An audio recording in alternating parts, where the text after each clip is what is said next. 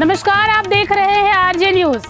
बलौदाबाजार जिला के कसडोल अभिव्यक्त संघ के तत्वाधान में विगत तीन सालों से जिला स्तरीय डे नाइट मैच लगातार किया जा रहा है।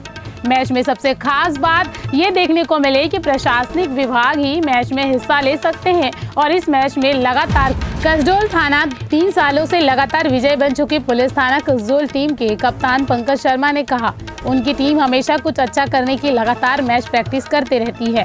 मैच में कप्तान पंकज शर्मा के साथ मृत्युंजय, विकास, राजकुमार, भूपेंद्र, साथ ही साथ प्रतिम और नंद किशोर विष्णु, कौशल, धनीराम, जीवन सहित संजय और राहुल सभी फाइनल मैच के हिस्से रहे, जिसमें फाइनल मैच के man of the match Pratim Patle बने। तो वहीं सभी मैचों में उत्कृष्ट प्रदर्शन करने वाले Bhupendra Verma man of the series के नवाजे गए।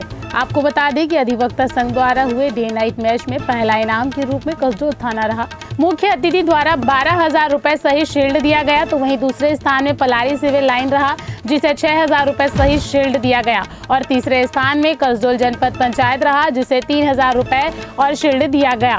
फाइनल मैच में पलारी सिविल लाइन टॉस जीतकर क्षेत्र रक्षण करने का फैसला लिया, जहाँ कसडोल थाना पहले बैटिंग करते दस ओवर में छियासी रन बनाए तो वहीं पलारी सिविल लाइन में महज 48 रन ही बना सकी और 40 रन के विशाल अंतराल से मैच हार गई। मैच बहुत अच्छा था सामने वाली टीम भी बहुत मज़बूत थी। हमारे हम लोग हम लोग के बीच स्थिति थोड़ी सी डामाडोल हो चुकी थी। उसके बाद हमारे वाला बहुत अच्छी बॉलिंग की है बैटिंग भी अच्छी हुई है। और हर साल ये अभिभाषा संघ के द्वारा मैच होता है। और विगत दो ट्रॉफी हम लोग ले ला चुके हैं और इस बार फाइनल पहुँच चुके हैं। और शायद बहुत अच्छा लगता है। यहाँ पे आने के बाद मैच में।